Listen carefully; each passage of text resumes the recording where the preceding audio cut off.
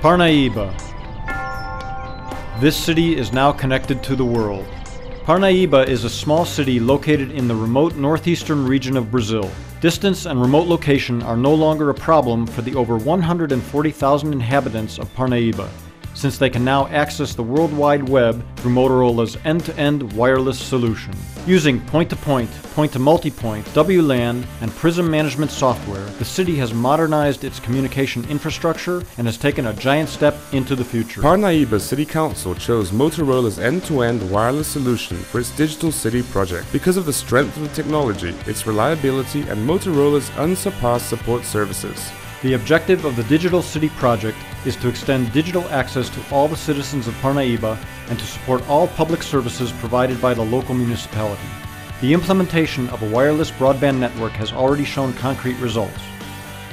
Motorola supplies the backbone for the city's internet and has installed a radio cluster in the city's administrative center, covering an area of about 10 miles around its central tower.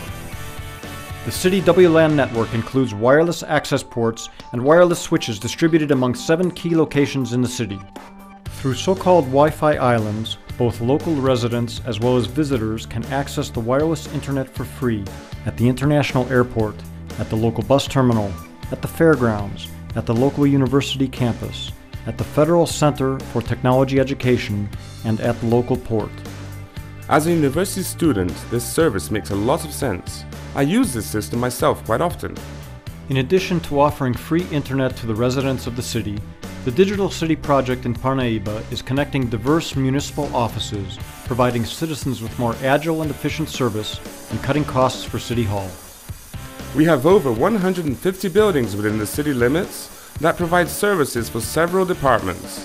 The Digital City project allows us to integrate all these departments at a very low cost of operations.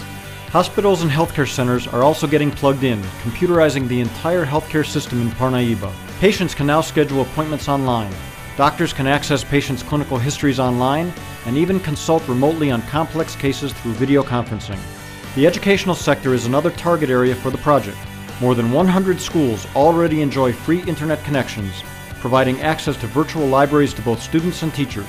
The entire system is improving the communication among the various educational and research institutions. Contributing to public safety, the Motorola solution includes the installation of wireless digital cameras in strategic points of the city. The images recorded are sent to a surveillance center staffed by the local city police. This is a very flexible tool for monitoring events affecting security throughout the city and to provide real-time information to the local police force. Real-time response can be better coordinated and transportation resources can be better deployed. Today, we can provide rapid public safety response throughout Parnaíba where it is needed and when it is needed. Public safety, education, healthcare, universal digital access.